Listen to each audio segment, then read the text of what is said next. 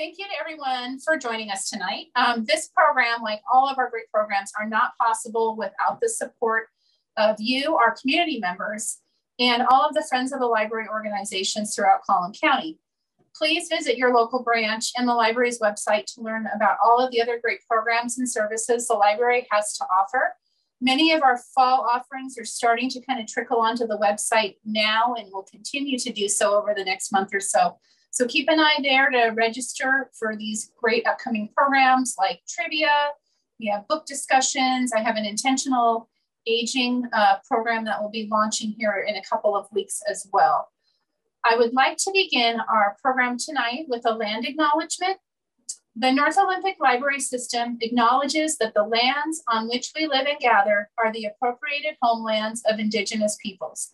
We want to express our deepest respect to those peoples past and present, including the Hoh tribe, Jamestown S'Klallam tribe, Lower Elwha Klallam tribe, Makah Indian tribe, Quileute tribe, Quinault Indian Reservation, Indian Nation, I'm sorry, I'm sorry, Port Gamble, S'Klallam tribe, and the Skokomish tribe for their these lands throughout the generations. Let us learn more about histories, cultures, and traditions of Indigenous peoples. Let us strengthen relationships with sovereign tribal nations to provide an inclusive space fostering innovation and collaboration at the library. So again, welcome to everyone. And for those that have come in late, we are recording tonight. And first, um, I'd like to give a shout out to Liz, who is helping us manage the Zoom on the backside. She'll be monitoring the chat. Great place to drop your questions as we go along. And I'd like to get started with our guest presenter tonight, and that is Bonnie Roos. She's the librarian for the Jamestown S'Klallam Tribal Library, and she is going to be sharing a short presentation on Coast Salish weaving with us. So I'll hand it off to Bonnie. Thank you, Cheryl. Thanks for inviting me to do this. Uh, I'm going to share my screen here. First of all, I want to say that um, I am not tribal, but I have the good fortune to be working at a tribal library. I've been there for almost eight years. Um, we are mostly closed right now for um, people to come in because we are planning a big expansion, and that will be done hopefully next fall. So uh, watch for the big grand opening, you know, late fall, and um, we'll, be excited to welcome everybody in. Um, in the meantime, we are offering curbside services and research services. So if there's something that you'd like to check out, or if there's something you'd like us to help you research, we're happy to do that. So I'd like to talk tonight a little bit about weaving. Uh, the Coast Salish folks have been weaving since time immemorial.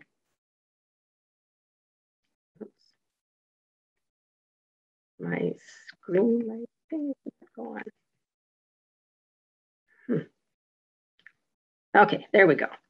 Um, so this painting is by Paul Kane in the mid 1800s and it shows a woman weaving on a uh, traditional Coast Salish loom. In the background, you can see another woman who is uh, spinning using a spindle and whorl. And then in the front, you see a little white dog.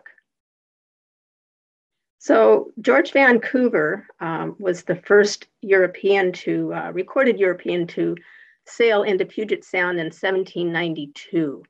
And he talked about the little wool dogs that the Coast Salish were raising.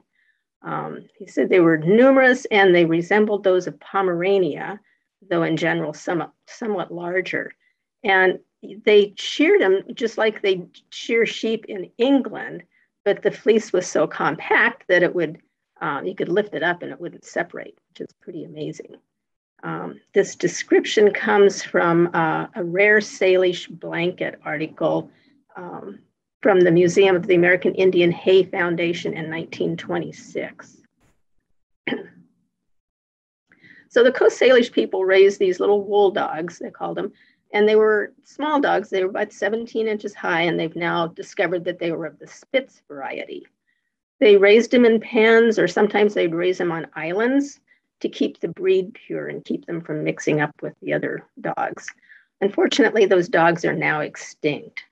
Uh, this picture of this blanket is um, does have dog wool woven into it.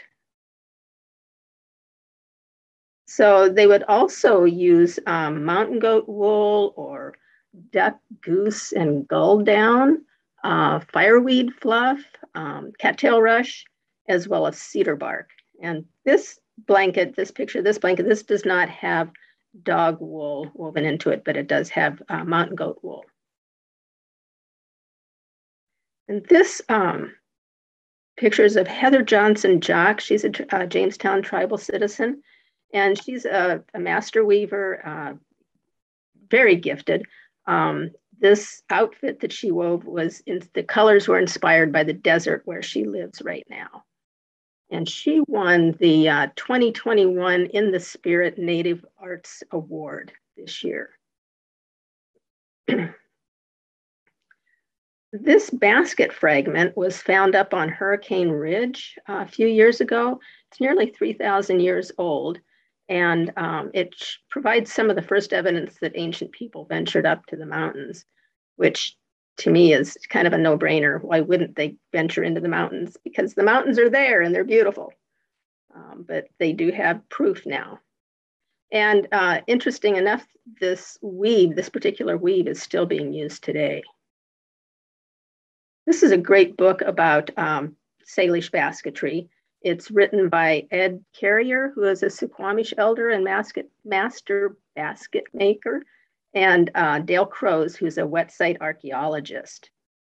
And Ed wove a basket to uh, represent the different types of weave throughout the years. So at the bottom there, you can see at um, 45,000, 4,500 years ago, um, there was a dual wrap, dual warp wrapped um, method. 3,000 years ago, it was a wraparound plaiting. 2,000 years ago, it was an open twining. And a thousand years ago, it was cross warp twining. And so those, again, those types of weave are still being used today. It's another great book um, from the hands of a weaver, uh, but Olympic basketry, basketry on the Olympic Peninsula. Um, and there's a lovely quote in there from Kathy Duncan, who is a Jamestown uh, S'Klallam elder. And I'm just going to read this just because it's so lovely. Um, to gather materials and weave a basket is to engage the whole body. The weaver's breath and the oil from the weaver's hands become part of each piece of material that is bent and handled during the process of pulling, stripping, cleaning, and splitting. Her materials become part of the weaver, and the weaver becomes part of each basket. And this basket is um, a Coast Salish clam basket uh, collected in 1904. And open work baskets like these were made of uh, peeled cedar roots twined with split cedar strips they were attached to woven tump lines that were used as head and shoulder straps. And they would fill these baskets with their clams, and then they could run water through the basket and the sand would run out. It was a brilliant design. And this is one that was woven more recently. Unfortunately, I don't have the information about this basket, but it just shows that, you know, that weaving is still being done. And another quote from Kathy Duncan um, is about watertight baskets, which I think are amazing.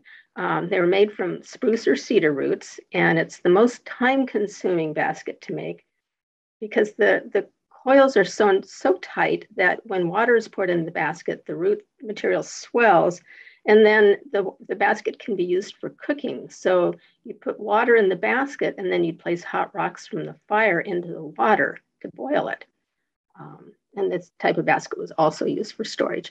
And I just find it amazing that you can weave something that tight that it would hold water. Uh, I obviously am not a master weaver. So this is uh, an example from 1876 of a finely woven um, basket.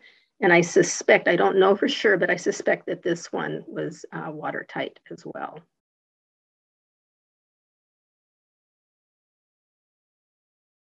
And then this one, um, I find this one interesting. This was uh, woven by Kathy McGregor, who's also a Jamestown tribal elder, and she calls it a gathering basket. And the story that she told me is that, say, you're going out in the woods to, and you you come across a berry patch that you know you didn't expect to come across, and you need a basket to gather those berries. So you just turn to the nearest cedar tree and you rip off a chunk of the bark and fold it in half and stitch it together with um, sinew or cordage or you know maybe maybe cedar root and voila you've got a basket. I, I think that's just brilliant.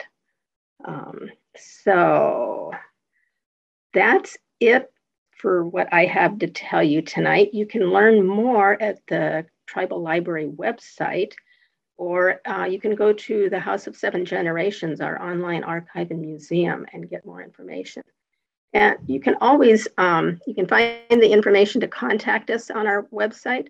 And if you have any questions, you know, after the fact here, um, please, please contact us. We're happy to help.